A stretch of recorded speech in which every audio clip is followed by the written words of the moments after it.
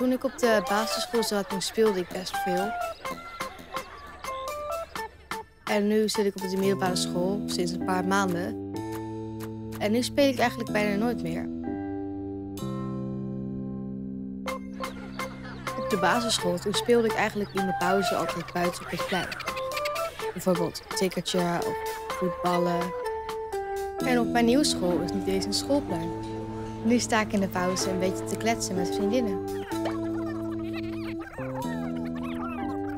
Maar wat ik me dus eigenlijk afvraag is, waarom houdt het spelen nou ineens op? En is dat eigenlijk erg? Wat denken jullie?